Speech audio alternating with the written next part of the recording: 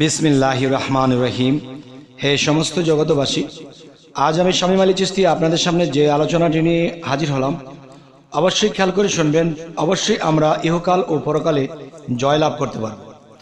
সে আলোচনাটি হলো, আমরা পৃথিবীতে এক প্রকার কোরআন চিনে এসেছি, দেখে এসেছি, জেনে এসেছি, পড়ে এসেছি। কিন্তু যাও এক প্রকার দেখেছি, বুঝেছি, চিনেছি, এর মধ্যেও আমাদের বোঝা বাকি আছে। আচ্ছা তাহলে এক প্রকারে যদি আমরা বোঝার বাকি রাখি, তাহলে আরও তো দুই প্রকার, সে তো অনেক দূরে রয়ে গেছে। তবে সেই প্রকারগুলো যদি আমরা বুঝতে পারি, জানতে পারি, তাহলে এই ইহকালেই আমরা আল্লাহর আল্লাহর সেই জ্ঞান লাভ করে যেতে পারব, আল্লাহকে লাভ করে যেতে পারব, আল্লাহকে দেখে যেতে পারব। অবশ্যই আপনারা আজকের আলোচনাগুলো খেয়াল করবেন ইনশাল্লাহ দেখুন, যে আমরা একটা জিনিস বুঝি যে আল্লাহর তরফ হইতে যে কোরআন নাজিল হয়েছে, তাও দেখেছি রাসুলের মুখে দিয়ে তা প্রকাশ হয়েছে। যেমন, আল্লাহ কোনো অলিকে বা কোনো আউলিয়াকে বা কোনো নবীকে একটা বস্তু দিয়েছে। সেটা কিন্তু আমি দেখিনি। আমি দেখেছি কি? দেখেছি যে আমাকে নবী রাসুল দিয়েছে কিংবা আমাকে কোনো অলিয়া উলিয়া দিয়েছে। আর অলিয়া উলিয়া যে আমাকে দিয়েছে, এটাই আমি জানি, আপনি জানেন। কিন্তু আল্লাহ যে তাকে দিয়েছে, তা কিন্তু আমরা শুনেছি কিন্তু দেখিনি। কিন্তু একজন অলি একজন মানুষকে দিতে পারে সামনাসামনি। এ হলো একটি দেওয়া। আর যখন আমি যার কাছে যে জিনিসটি পেয়েছি, সেটাকেই মনে করতে হবে যে হ্যাঁ আমি পেয়েছি। আর যার কাছে পেয়েছি, আমি তার নামটি বলব। আর উনি কার কাছ থেকে পেয়েছে, সেটা আমি দেখিনি। হয়তো শুনেছি, শোনা কথাটাই বলতে হবে, কিন্তু দেখা কথার মধ্যে যদি যাই, তাহলে কিন্তু আমাকে যিনি দিয়েছে, আমি তাকেই চিনি।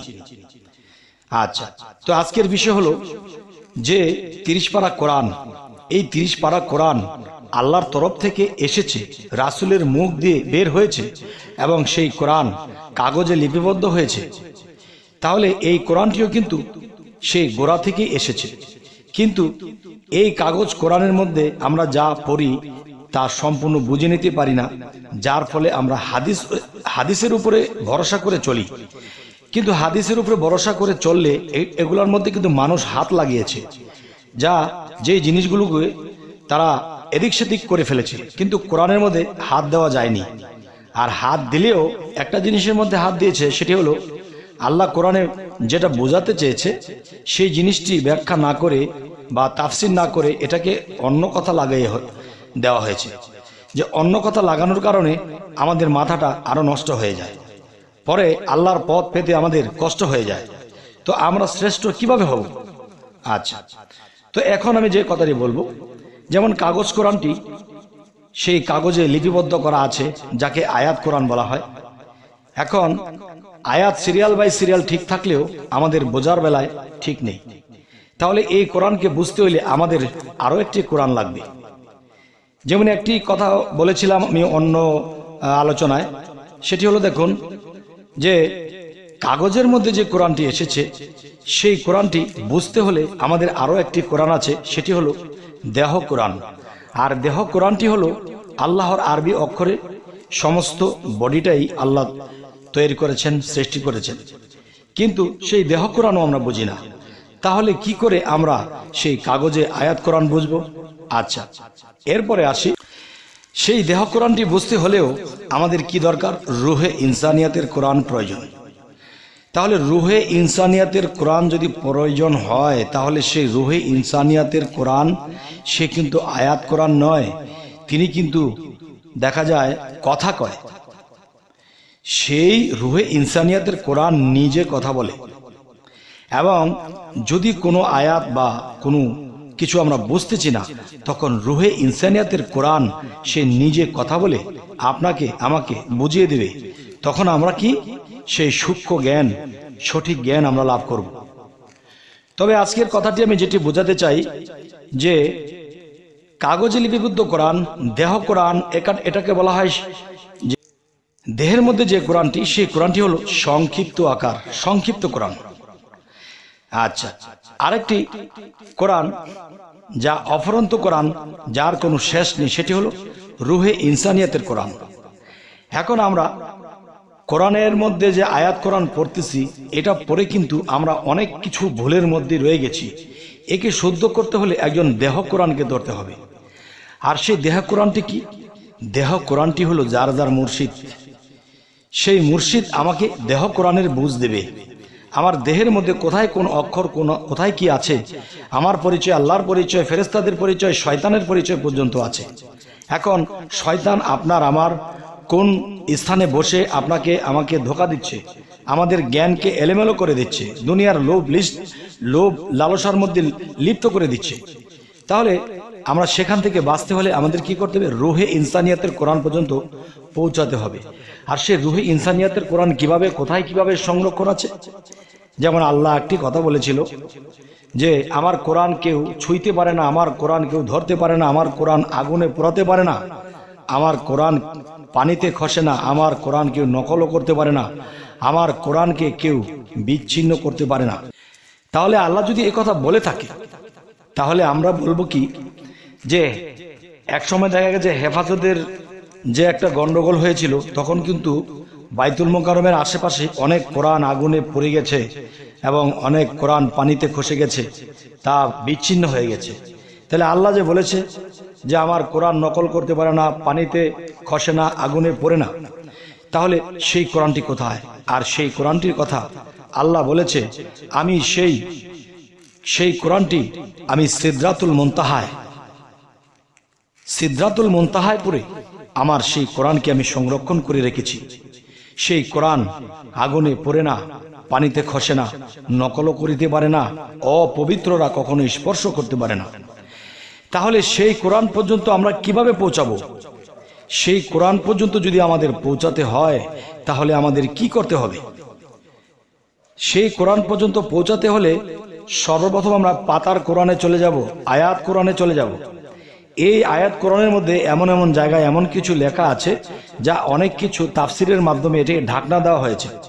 কিন্তু সেই ঢাকনাকে খুলতে হলে একজন কামেল মুর্শিদের প্রয়োজন, কামেল অলিয়া আউলিয়ার প্রয়োজন, যার সং, যার সাথে আল্লাহর সংস্পর্শ বা যার সাথে আল্লাহর সম্পর্ক রয়েছে, সেই ব্যক্তি একমাত্র পারবে সেই রুহানিয়াত, সেই রুহানি জগতের যে কোরআন সেই কোরআনের সাথে কথা বলিয়ে দিতে, সম্পর্ক করে দিতে। তাই আমাদের কি করতে হবে? যে আমাদের একজন কামেল মুর্শিদের কাছে যখন আমরা যাব, তখন তিনি আমাকে কি করবেন? আপনাকে কি করবেন? তিনি এই দেহ কোরআনটিকে দেখাবেন? দেহ কোরআনের কোথায় কি, কীভাবে, কোন পরিচয় কীভাবে রেখেছে তা দেখাবেন। এরপর আপনাকে যে সাধনা দেবে, যে হজরত মোহাম্মদ সাল্লাহ আলাই সাল্লাম তিনি হেরা পর্বতের গুহায় যখন সাড়ে চোদ্দ থেকে পনেরো বৎসর তিনি সাধনার মধ্যে ছিলেন, তখন কিন্তু নবীজির চুল, দাড়ি, হাঁটু ছাড়িয়ে গিয়েছিল। তাহলে তিনি কিন্তু ধ্যানমগ্ন অবস্থায় তিনি এরকম হালে কাটিয়েছিলেন। আর তখনই সেই রুহে ইনসানিয়তের কোরআন নবীজির উপরে এসেছে এবং সেই রুহে ইনসানিয়তের কোরআন নবীজির সাথে স্বয়ং কথা বলেছে। তখন সেই কোরআন কে কাকে দিল? তখন রাসুল রূপে খোদা খোদা থেকে রাসুল নাহি জুদা এক সুতায় বাধা। তাই বলব যে, রাসুল রূপে রাসুলের কাছে এসেছে। রাসুল রূপে রাসুলের কাছে এসেছে। এসে সেই কোরআন, তিনি জীবিত কোরআন হিসেবে তাকে পেয়েছেন এবং তিনি নিজে কথা বলে তাকে শিক্ষা দিয়েছেন, তাকে ধ্যান ধারণাগুলো দিয়েছেন। তখন এই কথাগুলো কোরআনে লিপিবদ্ধ করা হয়েছে। আচ্ছা তাহলে হজরত মোহাম্মদ সাল্লাহ সাল্লাম তিনি কিন্তু নবী। সে যদি সাধনা নাও করতো, তবু তিনি নবী। হেরা পর্বতের গুহায় পনেরো বছর ধ্যানের দেশে যদি নাও থাকতো, তবুও তিনি নবী। তাই আমি বলব, হে সমস্ত জগতবাসী তিনি সাধনা কেন করলেন? আমাদেরকে দেখিয়ে দিলেন যে হ্যাঁ তোমাদেরও এই হেরা পর্বত গুহার যে সাধনা, এগুলো করতে হবে। তাহলে আপনার মানব দেহের মধ্যে সেই হেরা পর্বতের গুহা কোন জায়গায়? আমি, আপনি কিন্তু জানি না। তখন সেই কামেল মুর্শিদ, সেই হেরা পর্বতের গুহা আপনার এই ছোট্ট মানব ভাণ্ডের ভিতরে দেখিয়ে দেবে এবং সেই স্থানে বসে আপনি সাধনা করবেন। সেখানে বসে সাধনা করতে করতে নিজের দেহ কোরআনকে আপনার চেনা হয়ে যাবে এবং সেই দেহ কোরআনকে যখন আপনি চিনে যাবেন, তখন আপনার কাছে আল্লাহর তরফ হইতে সেই খবরাখবর হবে, এলমে লাদুনি আসবে, তখন তার মাধ্যমে আপনি নিজে সেই জীবিত কোরআন থেকে নিজে কথা বলে আপনাকে বলবে, আর সেই কোরআনটি সিদ্ধাতুল করে বসা, সেখানে বসে আপনাকে শিক্ষা দেবে। তাহলে কোরআন কয়টি হলো, কয়টি স্তর হলো? একটি হলো কাগজ কোরআন, একটি হলো দেহ কোরআন আরও একটি হলো রুহে ইনসানিয়াতের কোরআন। আর সেই রুহে ইনসানিয়াতের কোরআন বেলায়েতের যুগে যারা বেলায়েতকে পাশ করেছে, যারা সাধন সিদ্ধ লাভ করেছে, যারা নিজেকে পবিত্র করেছে, তাদের কাছে সেই এলমে লাদুনি আসবে। আর সেই এলমে লাদুনির মাধ্যমে আপনাকে, আমাকে সেই জ্ঞান দান করা হবে। তবে হে সমস্ত জগতবাসী এই জিনিসগুলো যদি আমাদেরকে বুঝতে হয়, জানতে হয়, তাহলে কিন্তু শুধু কাগজ, কোরআন নিয়ে বসে থাকলে সারা জীবন তাফসির করলে আমাদের লাভ হবে না। অবশ্যই একজন দেহ কোরআনের কাছে যেতে হবে, আর সেই দেহ কোরআনটি হলো একজন আল্লাহ আউলিয়া। একজন সাধু পুরুষ, একজন পবিত্র মানুষ, একজন সুফি, তার কাছে গেলে আমরা সেই দেহ কোরআনের সাথে সাথে, আমরা সেই সাধনার সাথে সাথে, আমরা সেই রুহে ইনসানিয়াতের কোরআনকে লাভ করব। তখন আপনার কাছেও আল্লাহর তরফ থেকে সেই খবর আসবে। তবে হে সমস্ত জগতবাসী আজকের এই আলোচনা আপনাদের কেমন লাগল?